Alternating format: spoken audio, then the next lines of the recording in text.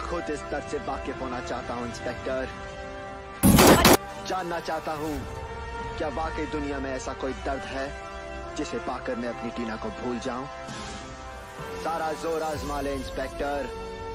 कोई कसर मत छोड़ना आज। ये मेरी मोहब्बत का इम्तिहान है।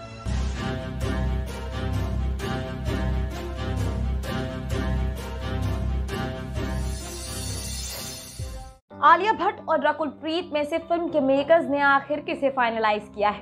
क्या फ़िल्म मेकर्स का ये डिसीज़न उनके हित में काम करने वाला है? तो आइए जानते हैं।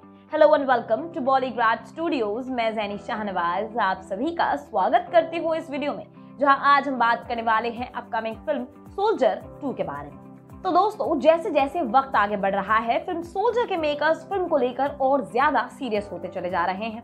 वो फ़िल्म को लेकर बहुत सारे डिसीजंस लेने में लगे हुए हैं। फिर चाहे वो फ़िल्म की कहानी पर हो, चाहे फ़िल्म की सेट्स या शूटिंग लोकेशंस पर हो या फिर फ़िल्म की कास्ट पर हो।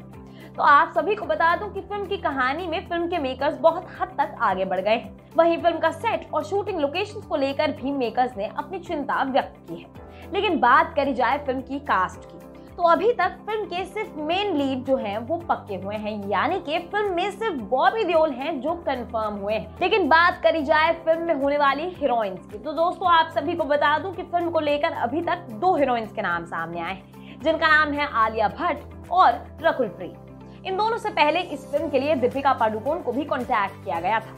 लेकिन दीपिका पाडुकोन ने साफ़ तौर पर इस फ़िल्म के लिए मना कर दिया। अब बात करी जाए आलिया भट्ट और रकुल प्रीत की तो ये दोनों बहुत उम्दा एक्ट्रेसेस हैं। ऐसे में फ़िल्म मेकर्स का दिमाग कंफ्यूजन में डूबता चला जा रहा है। तो अभी फ़िलहाल के लिए फ़िल्म मेकर्स क्या कर रहे हैं, है? इन दोनों एक्ट्रेसेस की पॉजिटिव्स और नेगेटिव्स की लिस्ट प्रिपेयर कर रहे हैं। ऐसे में फ़िल्म मेकर्स को एक डिसीज़न पर पहुँचने में आसानी तो होगी, लेकिन फ़िलहाल के लिए वो बड़ी कश्मकश में है क्योंकि दोनों तरफ़ पॉजिटिव पॉइंट्स थोड़े ज़्यादा हैं। तो चलिए आइए, मैं आप सभी को बता देती हूँ कि आखिर आलिया भट्ट का पलड़ा कहाँ भारी है और वहीं नकुल प्रीत का कहाँ। दोस्तों, बात करी जाए इन दोनों एक्ट्रेसेस की। तो दोनों की पिछली परफॉर्मेंसेस को देखा जाए तो दोनों में से कोई भी कम नहीं है। लेकिन अगर बात करी जाए वर्सिटैलिटी की तो यहाँ पर शायद आलिया भट्ट का पलड़ा भारी हो जाता है। आप सभी अगर खुद से कंपेयर करें, चलिए उनकी कोई भी दो फ़िल्म उठा लीजिए। चलिए, दिया ज़िंदगी और राज़ी उठा लीजिए। अब इन दोनों फ़िल्मों को अगर आप ध्यान से देखेंगे तो दोनों फ़िल्मों में आलिया भट्ट ने काफ़ी अलग किस्म की एक्टिंग करी है। जहाँ एक तरफ़ वो एक नर्म दिल की लड़की बनी है, एक आम लड़की बनी है, वहीं दूसरी फ़िल्म, यानी कि राज़ी में वो एक टफ और एक एग्रेसिव लड़की बनी है। तो ऐसे में आलिया भट्ट ने अपने इन दोनों किरदारों को कुछ इस तरीके से निभाया है, जहाँ पर इन दोनों किरदारों में ज़मीन और आसमान का फ़र्क नज़र आ रहा है। ऐसे में आलिया भट्ट की वर्सिटैलिटी को इग्नोर नहीं किया जा सकता। फिर चाहे वो कोई भी इमोशन हो, चाहे वो लव हो अग्रेशन हो, या फिर टफनेस हो, हर चीज़ में आलिया भट्ट ने एक काबिल तारीफ़ परफॉर्मेंस दिया है। वहीं दोस्तों, दूसरी तरफ़ बात करी जाए रकुल प्रीत की तो इन्होंने दो फ़िल्म जैसे कि यारियाँ और दे दे प्यार दे, इन दोनों फ़िल्मों में लगभग सेम एक्टिंग की है। ऐसे में यहाँ पर रकुल प्रीत हल्का सा पॉइंट नीचे चली जाती है, लेकिन एक टफ पॉइंट रकुल प्रीत के पास भी है। और वो है अपनी से बड़ी उम्र वाले एक्टर के साथ केमिस्ट्री दिखाना।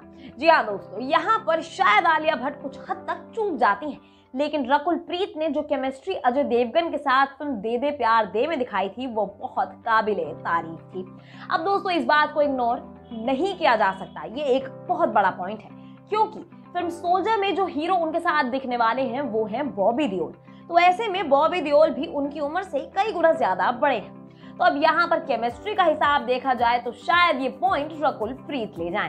तो यहाँ पर आकर फ़िल्म के मेकर्स फंस गए हैं। वो बहुत ज़्यादा कंफ्यूज हो गए हैं कि आखिर किसके पॉइंट्स पर ज़्यादा ध्यान दिया जाए। तो ऐसे में एक ही हैं जो उनकी टेंशन दूर कर सकते हैं। और वो हैं आप, यानी कि हमारी प्यारी ऑडियंस तो दोस्तों, आप लोगों को कुछ नहीं करना, कहीं नहीं जाना, बस कमेंट सेक्शन में बताना है कि आपके हिसाब से इन दोनों हीरोइंस में से बेस्ट सूटेड हीरोइन कौन होने वाली है? कौन आपके हिसाब से बॉबी देओल के साथ परफेक्ट मैच करेंगे? तो दोस्तों कमेंट करिए और ज़रूर बताइए। और जाने से पहले कर दीजिए हमारे चैनल बॉलीग्राड स्टूडियोज को सब्सक्राइब तब तक के लिए मैं जैरी शाहनवाज लेती हूँ आप सभी से विदा।